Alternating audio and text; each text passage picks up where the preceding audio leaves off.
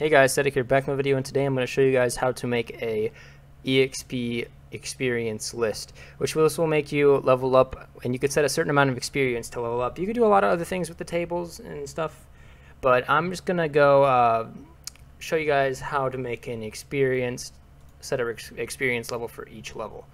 So let's get right into it. So what we're going to want to do is to type in level to exp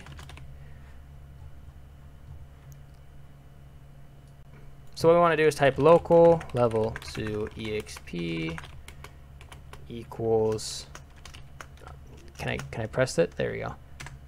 And then we just do a few of these. I'm just gonna do only five levels because I'm not gonna it's gonna take a while to make more than that. One equals 100 level two.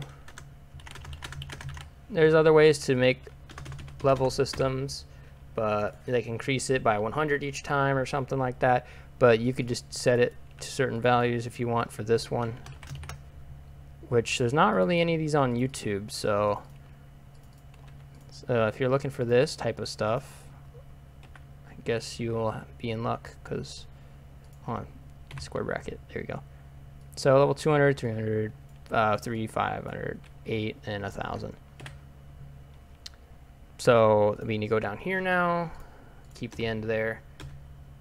Now what we want to do is you want to type in exp.change to connect function. Why is there two of those? exp needed dot value equals level to exp to string. Then you want to type in level dot value go down. If exp dot value equals oh no it's greater than or equal to exp need needed dot value then this will do like level dot value. Let's just do this real quick. Level dot value equals level dot value plus one. And this will basically give you a level, give you up, update your level once you're finished. Then you could do like cash and stuff if you want. And give it 100 cash for each level, I guess. Then after that, uh, you can do other things like if you say if you want to do uh, a pop-up GUI, like a pop-up GUI or some sort of stuff that requires remote events and all kinds of stuff, I'm going to do that in another video. But I'm going to actually, um, before I forget, you're supposed to type exp.value equals exp.value minus exp, no, that's not minus, no, that's not a minus either, exp needed dot value. Now this should work.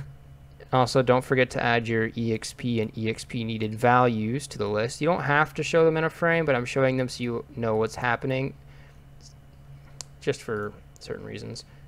And I'll show you guys how to do this NPC in the next video with rewards, respawn, and health bars.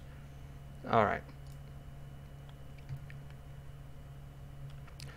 So, now that we're in the game, that's kind of loud. Um, you want to walk up to the NPC, you kill it, you get, well this one's giving me a whole bunch of EXP, so I need a 300 EXP for level 2 to get to level 3. And if I kill one more, I should be at the level and I reset my EXP to 0. Yeah, then it's 500 for level 4, and then I'm getting 100 cash each time I level up and 10 cash per each time I kill the NPC.